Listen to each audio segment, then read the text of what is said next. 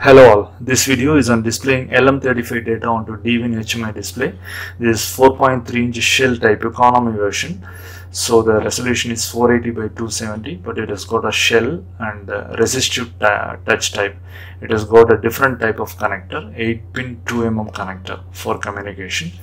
Let us open the back case to see inside. The left hand side is the 8 pin 2mm connector. It is different from other models so the top two pins are VCC where we'll be connecting 12 volt and uh, the next two pins are not implemented as it is economy version 485 not implemented. Next is TX2 and RX2 and the last two pins ground. So this is the 8 pin connector. We'll be using for power source 12 volt DC 1 ampere and you can see some uh, protection diodes for the communication pins RX TX and there is a slot for placing battery of for RTC. To the right hand end is the SD card slot.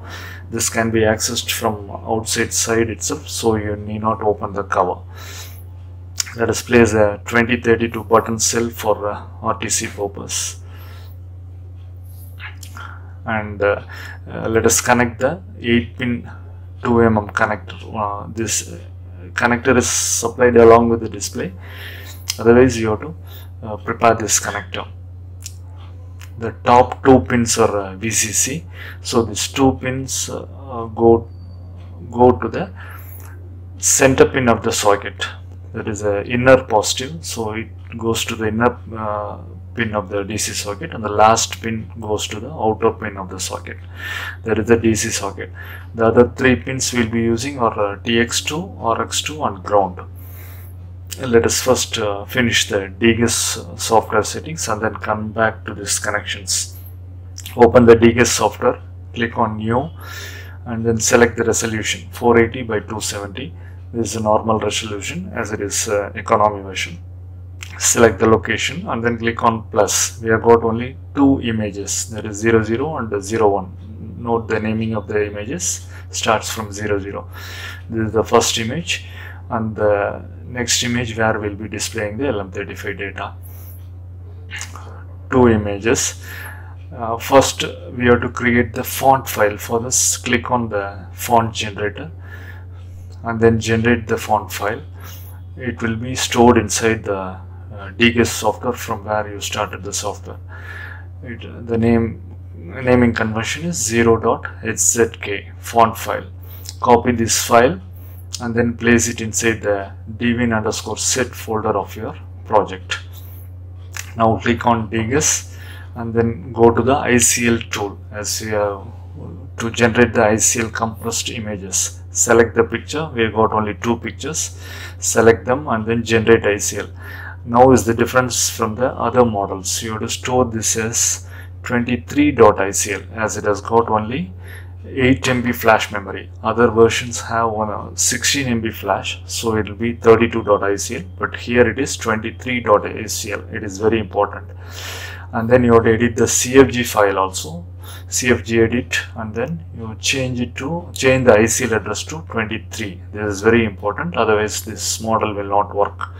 And then click on new CFG and store it as T5L CFG.cfg this is the only naming you, you can give under dwin underscore set folder now on the first image click on icon display and then picture animation and to the right hand side settings select the picture id initial start as 0 and end picture is 1 and RTC you can set up to 255 that is up to maximum 2 seconds. The idea is when the power is on it will display the first image it will go to the second image after uh, 2 seconds automatically.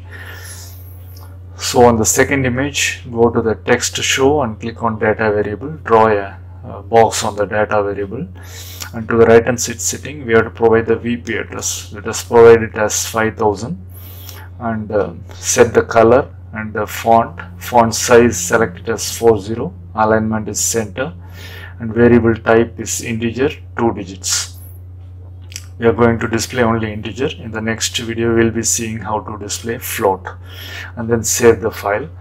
And from display you can see the preview next to transfer the uh, project onto the hardware. Let us copy the dwin underscore set folder to the sd card folder. We'll be using 16 GB memory memory card and then copy the dwin underscore set to this card. The memory card should be formatted for uh, 4096 bytes uh, chunks. Plug in the SD card with the uh, dwin underscore set remove the power while inserting SD card and then provide the power back. Now you can see the blue screen of uh, downloading files. It takes some time and after that the downloading is finished. Remove the power and then remove the SD card. Now provide the power back. Now the project has been uploaded onto the hardware. You can see the first screen. After some delay it lands onto the second screen where you can see the data now let us see the connection of this uh, D connector we will be using male connector so that uh, it can match with the female connector of uh, RS232 to TTL the first pin to the left the second is RX third is TX and the fifth pin is ground. So we'll be connecting uh, straight. That is TX to TX of uh, display RX to RX2 and ground to ground. This is a straight connection. It is not reverse. And then we can plug the female port of the RS232 to TTL it is built on 3232 IC RS232 board requires 5 volt supply which is taken from Arduino. Ground to ground. And then RX pin is connected to RX TX to RX, uh, TX it is straight. It is not reverse. And LM35 data pin is connected to A1 analog pin uh, and then we'll see the Arduino code. Here we define the software serial with RX pin 3 and TX pin 4 we create software serial object. And we define uh, that is a we define the VP address as 0x50 we are using only the high byte and we create an array temperature array of 8 bytes. 5a a5 is header 05 is the number of bytes. 82 is the write code and then the temperature address which is the VP address high byte and then low byte and data high byte low byte. Inside setup we start the dwin serial at 115200 baud and within the temperature loop we check the ADC value of temperature and do the calculation and uh, print it on serial monitor. And then we call the data Arduino to display. For displaying it on dwin display. Under this uh, function we use the high byte that is the uh, index 6 is having the data high byte. We separate the high byte and then the low byte which is at index 7 and then we send the uh, data to dwin display using serial dot write now the data is being sent to the dwin display. You can see the uh, data is displayed on the data variable location. It is only integer value. In the next video you'll be seeing the float values. So this is how to use this economy version of 4.3 shell type dwin display. Thank you for watching